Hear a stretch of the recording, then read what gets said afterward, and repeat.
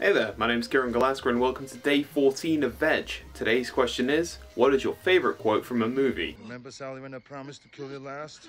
That's right, Major. You did. I lied.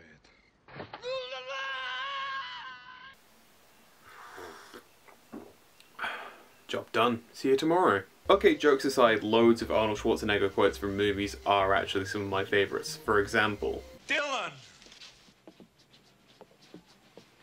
You son of a bitch. Leave anything for us? Just bodies.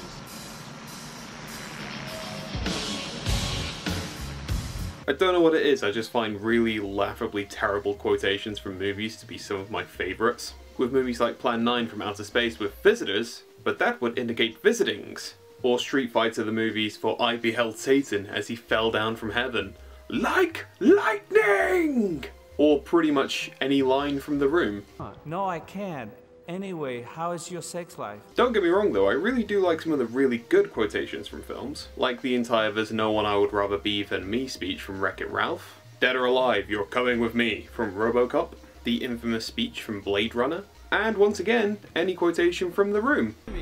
Get out my house. I kill you! I'll bring him in full body. Kill you bastard! I would have to say that my favourite quotation from any movie though, actually has to be from Aliens.